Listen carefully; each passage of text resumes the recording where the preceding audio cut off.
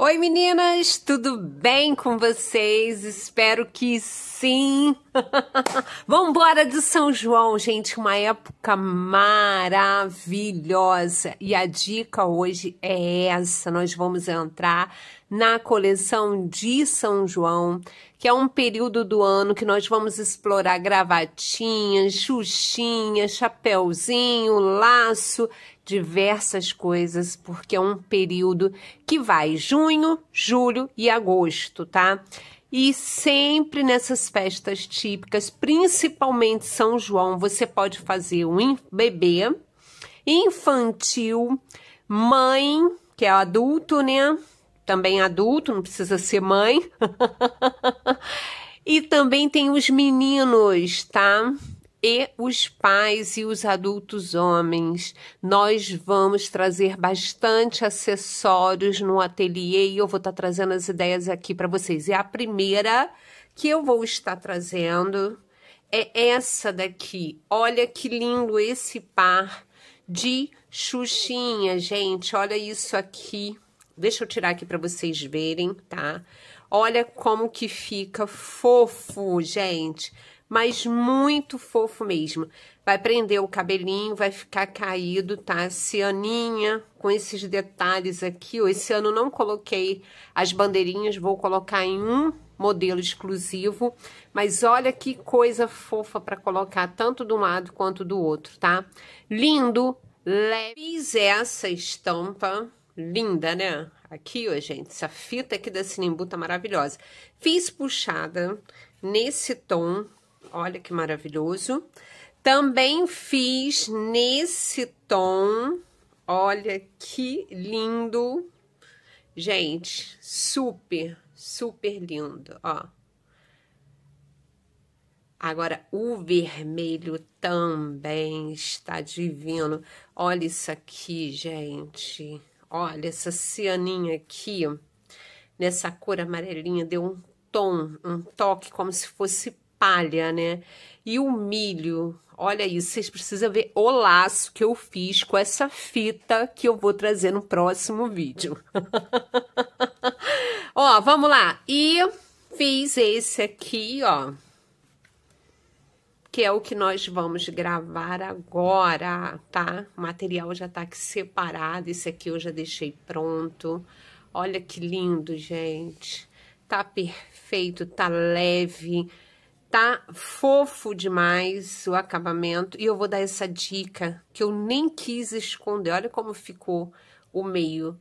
Ficou tão lindo, tão lindo que eu quis botar o aplique aqui na lateral. Vamos lá, vamos embora aprender a fazer esse laço da coleção junina. Aliás, junina, julina, agostina. coleção caipira. Vamos lá? Nós vamos aos materiais necessários para estar tá fazendo esse modelo aqui, tá? Lindo, dá para fazer ele menor, gente, tá? E dá para fazer também ele na fita número 5 para bebezinho, que eu vou estar tá trazendo para vocês ele na fita número 5 para bebê bem pequenininho, tá? Esse aqui ficou no tamanho 11 centímetros, gente, tá? Vamos pegar aqui do biquinho, ó, 11 centímetros. Só que o caipira tem que ser algo extravagante, né? Mas, se a mamãe quiser, você pode diminuir um pouco, tá? Os materiais necessários, tá?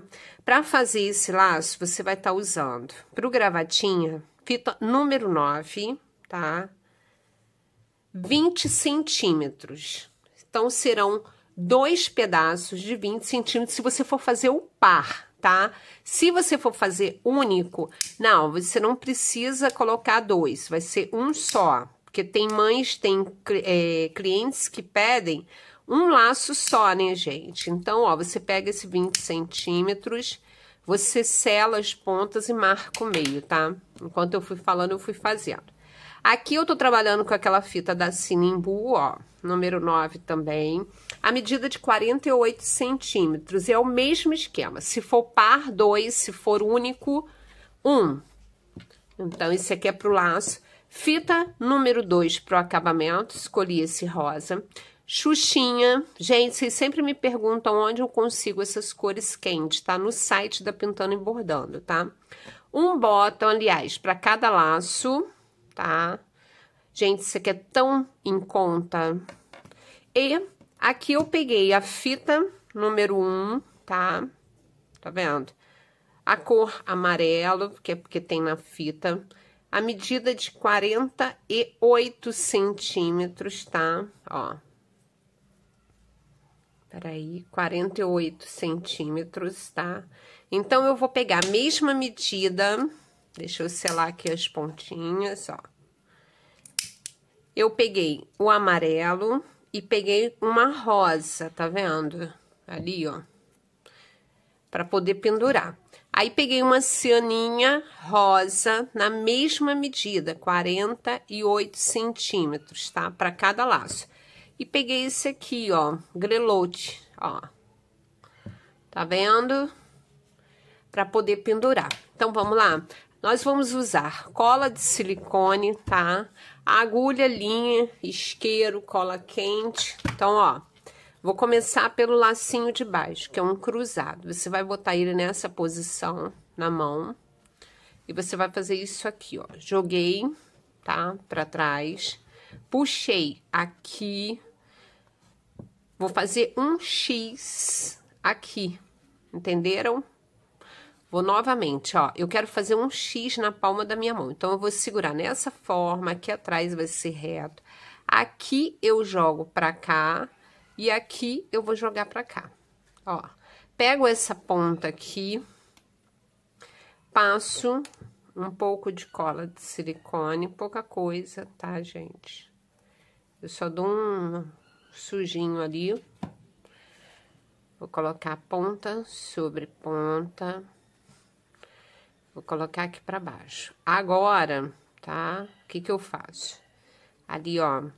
Eu vou botar aqui pra vocês verem, gente. Aqui tem que unir. Ali, ó, pontinha com pontinha. É assim que você vai achar, tá? Você vai se achar nesse laço. Você tem que acertar aqui certinho, pontinha com pontinha lá, ó. Ele tem que ficar assim, ó. Bem certinho, tá vendo? Virou, ele tá batendo, então tá ótimo. Vamos pegar um bico de pato para poder segurar aqui. Se você quiser ficar bem firme, você pode fazer isso aqui, tá? Ó para poder te dar bastante segurança. Aí você dobra, marca aqui, é um laço super fácil de fazer, ó.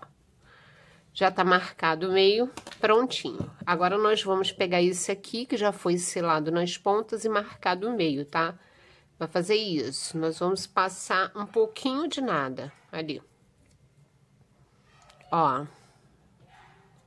Segurei Vou colocar um alfinete, tá?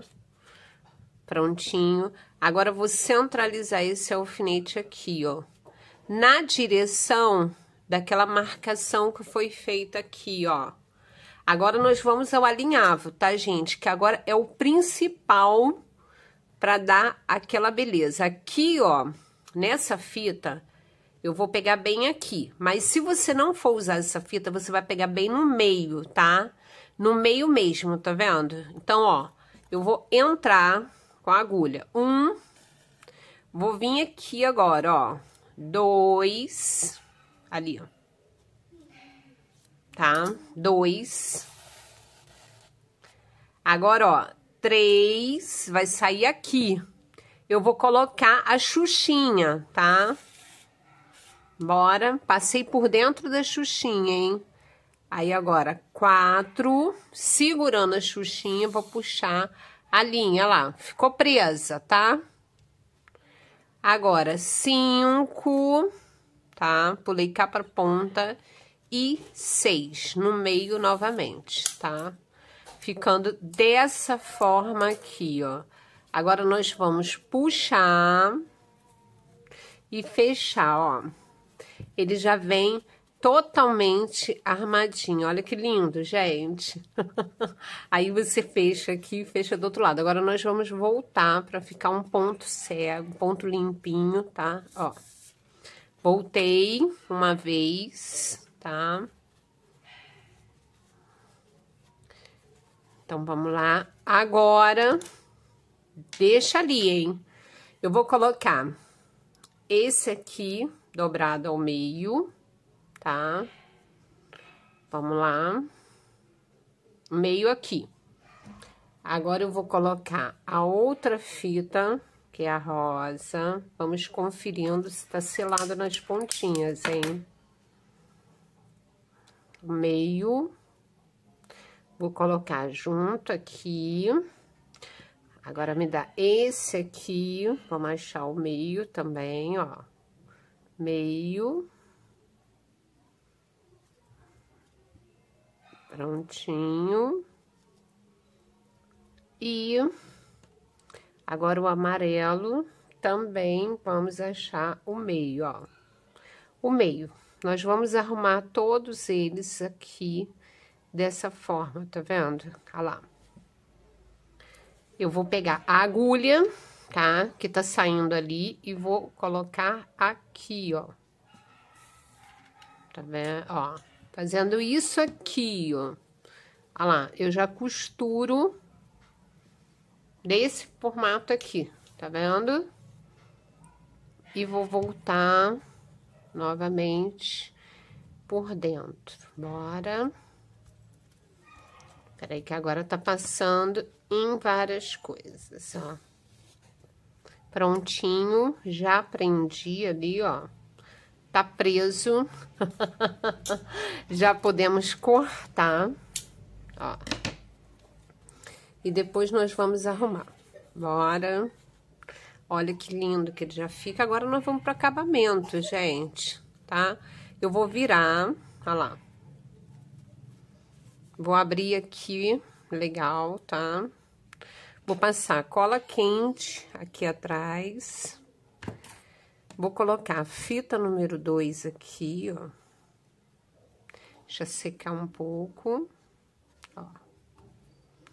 Gente, esse modelo aqui, ele é muito bacana, muito. E esse período agora, vamos passar aqui, ó, rodar com a fita número 2, olha lá deixando ela bem arrumadinha. E nesse período, aqui nessa parte aqui, tá? Você arruma, tá? Isso aqui pra ficar bem bonitinho, ó. Então, ó, vou passar mais cola quente aqui, tá? E vamos passar a fita número 2 pra trás, ali. Vamos lá. Aí, agora, eu dou mais uma volta. Prontinho, tá? E nessa volta que eu vou dando, eu vou dando e vou arrumando, ó. Tá? Agora aqui eu vou cortar esse excesso, gente. Essa sobra da fita aqui, vou selar e vou colocar a cola quente, tá? Então, ó, prontinho. Olha que luxo, gente, olha que lindo. Falei pra vocês que não é difícil de fazer, é super fácil, prontinho. Agora, nós vamos colocar só o detalhe, viu como é rapidinho esse laço, gente? Muito bacana de fazer. Isso aqui é um bottom, né? Ele tem esse pontinho atrás. Você tem duas opções, você pode costurar ou você pode colar. Eu aqui vou estar colando, tá? Então, ó, eu corto, coloco bastante cola aqui, ó. Tá? Cola quente mesmo. Aqui eu botei desse lado, então aqui ele vai ficar deste. Olha lá. Prontinho. Ó, já está prontinho mais um kit lindo, gente. Olha que cores lindas. É isso mesmo, é São João, é caipira, é sonhar, é acreditar. Sugestão de preço, Lili, ó. 25 reais o par a 30, tá bom? São dois laços lindos, acho que vale super a pena, tá? É o kit. Se for unidade, você pode estar vendendo a 18 reais, tá? é uma sugestão de preço, até porque nós trabalhamos aqui com bastante peça, tá? Gente, 28, 30 reais não é caro para laço, tá? Isso aqui é um acessório.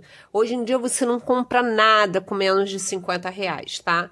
E se a cliente quer algo bonito, se a cliente quer algo elegante, um acessório bacana, ela tem sim que pagar um valor por isso, tá? Então vamos lá? Espero que vocês vendam muito, que vocês arrasem, que vocês sonhem, mas acima de tudo, que vocês vençam, que vocês resistam, gente. Até porque tudo isso vai passar em breve. Eu creio mais do que nunca que tudo isso, gente, está acabando. A nossa luta está começando, eu estou começando a ver o fim dessa luta, tá? E nós vamos nos reerguer, nós vamos nos levantar, nós vamos vencer, nós vamos realizar nossos sonhos, nós vamos voltar a viver. Precisamos acreditar sim no melhor, precisamos acreditar sim que tudo vai melhorar, porque é assim que nós vivemos, é assim que precisamos viver, tá? Um beijo, que Deus esteja no coração de vocês, que Deus renove os sonhos de vocês, tá? Sempre. E aqueles que estão com o coração ferido, que Deus cure essa ferida, que Ele cuide, tá? Até a próxima dica.